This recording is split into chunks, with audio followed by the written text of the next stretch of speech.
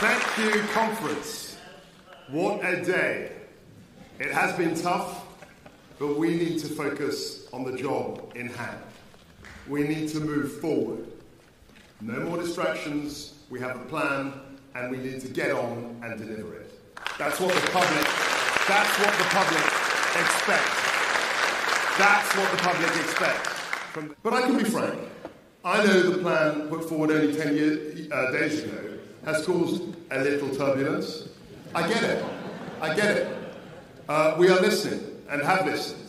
And now I want to focus on delivering the major parts of our growth package.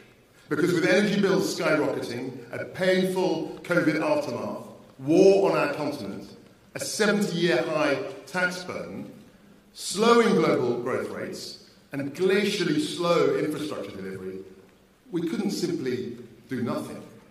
We can't sit idly by.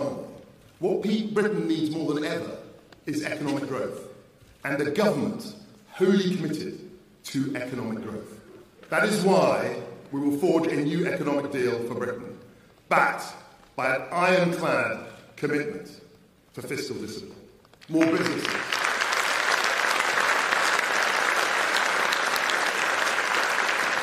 More businesses, more jobs, higher pay, more money for public services. Because we cannot have a strong NHS without a strong economy. We can't have good schools without a strong economy.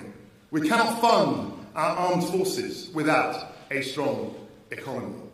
So, growing our economy should be our central and guiding mission. With this plan, we are aiming for 2.5% annual trend growth. We've done it before, and we can do it again. And even in the face